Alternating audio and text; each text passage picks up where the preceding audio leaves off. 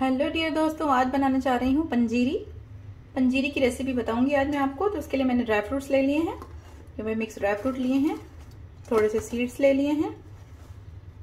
इसमें मैंने pumpkin seeds और मिलन सीड्स लिए हैं, मखाने ले लिए हैं। यहाँ पे थोड़े से मिक्स ड्राई फ्रूट्स हैं, फिर बादाम, किशमिश, काजू, ये ले लिए हैं। बाकी जो भी लगेगा मैं आपको इन्ग्रीडियंट्स वो बताती जाऊँगी। तो चलिए, बनाना स्टार्ट करते हैं पंजीरी। सबसे पहले एक पैन ले लेंगे। इसमें डालेंगे देसी घी।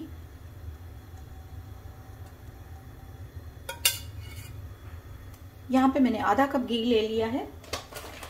सबसे पहले हम गोंद को फ्राई कर लेते हैं। पहले घी को गर्म कर लेंगे, उसके बाद गैस का फ्लेम लो कर देंगे अब इसमें डालेंगे गोंद। गोंद को हमको लो फ्लेम पर ही फ्राई करना है। तो गोंद को आगे पीछे करके इस तरह से फ्राई करेंगे। और अच्छे से फ्राई करना है। एकदम जो क्रिस्पी हो जाए। गोंद हमारा फ्राई हो चुका है तो इसे निकाल लेते हैं। ये देखिए, इस तरह से क्रिस्प हो जाना चाहिए। तो गोंद को निकाल लेते हैं। अब हम बादाम और काजू को रोस्ट कर लेते हैं।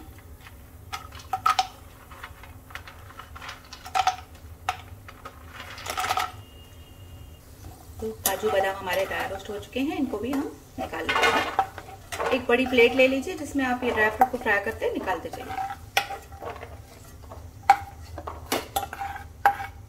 अब मखानों को फ्राई कर लेंगे।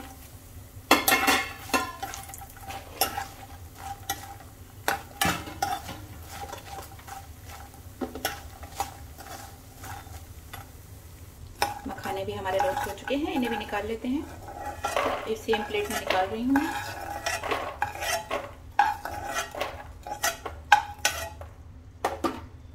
अब नारियल को भी हम ड्राई रोस्ट कर लेंगे। नारियल मैंने आपको दिखाया नहीं था। मैं भूल गई थी। इसमें थोड़ा सा नारियल भी डालेंगे। ये सूखा नारियल है, जो बाज़ार में मिलता है ड्राई नारियल ड्राई कोकोनट कोकोनट भी हमारा ड्राई रोस्ट हो चुका है। ये देखिए, इसे भी निकाल रही हूँ। अब इसमें सीड्स को भून लेंगे। इसके साथ ही खसखस, इसको भी ड्राई रोस्ट कर लेते हैं।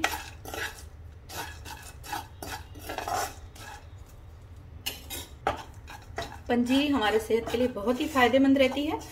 तो अगर आप ब्रेकफास्ट नहीं करते हैं तो आप एक पंजीरी का दो चम्मच ही खा लीजिए, उसके बाद दूध पी लीजिए। या फिर आपके घर में कोई बड़े बुज़ुर्ग हैं, उनको आप दे सकते हैं पंजीरी।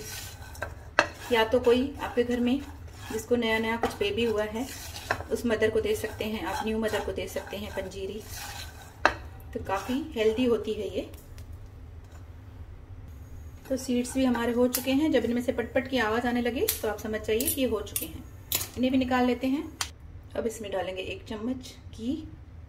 और किशमिश को भी कर लेंगे, किशमिश को भी फ्राई कर लेंगे।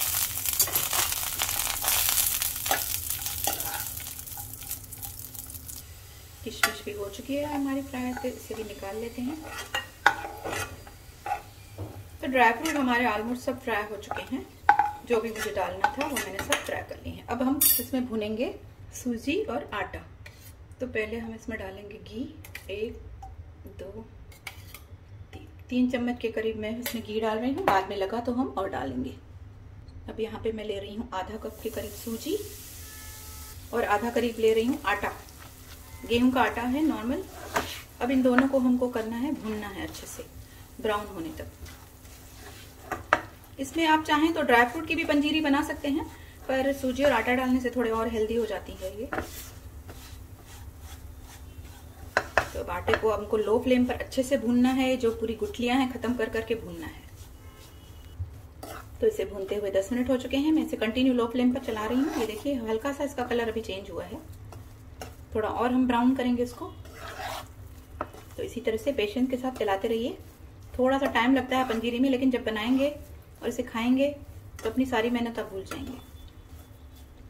तो इसी तरह से चलाते रहिए कंटिन्यू तो आटा और सूजी हमारे भुन चुके हैं अच्छे से। ये देखिए, काफ़ी ब्राउन हो गए हैं। गैस मैंने बंद कर दिया है। लेकिन फिर भी मैं इसे चला रही हूँ, क्योंकि पैन काफ़ी गर्म है। और ये थोड़ी देर में चलाते रहेंगे और फिर इसे ठंडा करने के लिए रख देंगे। तो अब आटा हमारा बुन चुका है, ड्राई फ्रूट बुन चुके हैं तो अब इन्हें हम मिक्सर में पीसने के प्रोसेस में चलते हैं। तो चलिए सबको पीस लेते हैं। तो गैस को बंद कर दिया मैंने, चलिए। ड्राई फ्रूट्स को जो हमने बना के रखे हैं, इन्हें पीस लेते हैं। ये जो हमारे ड्राई फ्रूट्स हैं, इनमें से कुछ थोड़े से निकाल के हम रख देंगे तो कि वो हम पंजीरे में ऊपर से डालेंगे तो वो खाने में अच्छे लगते हैं। तो यहाँ पे एक थोड़े से कटोरी में मैं निकाल के रख रही हूँ, बाकी को हम पीस लेते हैं। तो इन्हें मिक्सर में डाल देते हैं।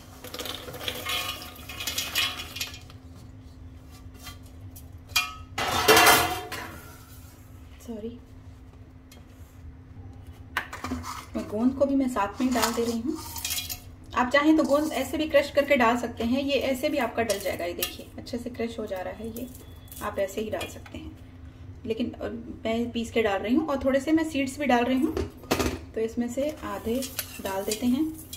आधे हम ऊपर के लिए रख देंगे मिक्स करने के लिए। तो इसे पीस लेते हैं। तो इसे पीस लिया है मैंने, ये देखिए। इस तरह से मैंने इसे दरदरा पीसा है, ये देखिए। आपको एकदम पाउडर करना है तो पाउडर भी कर सकते हैं। तो मैंने इसे इस तरह से ही पीसा है। मैं आपको इसे पैन में निकाल कर दिखाती हूँ। ये देखिए। ये देखिए।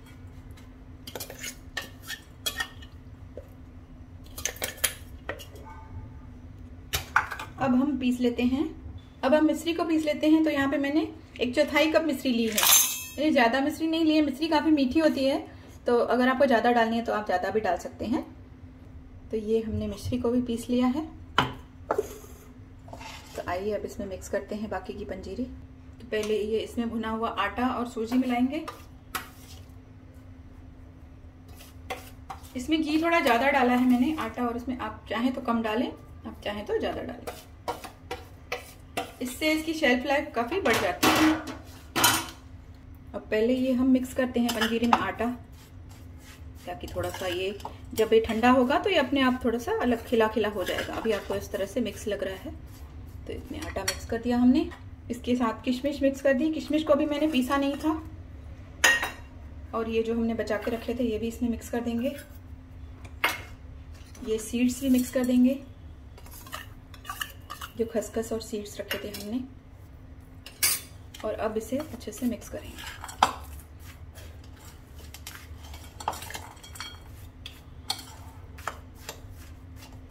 अब इसमें डालेंगे इलायची का पाउडर जो मैंने पहले नहीं मिलाया था, मैं अभी मिला रही हूँ। इसके अलावा आप इसमें सोट भी मिलाना चाहें तो मिला सकते हैं, पर मैं इसमें नहीं मिला रही हूँ सोट अब मिला देंगे ये मिश्री, क्योंकि मैंने इसे थोड़ा ठंडा होने के लिए रखा था कि मिश्री मैं इसमें बाद में मिलाऊं। तो अब मिश्री को भी इस तरह से मिक्स कर लेंगे। तो बस फ्रेंड्स पंजीरी हमारी तैयार है, बनके एकदम बढ़िया है देखिए। कितनी बढ़िया लग रही है, मैं आपको बता नहीं सकती हूँ। इसे मैं टेस्ट करके देखती हूँ।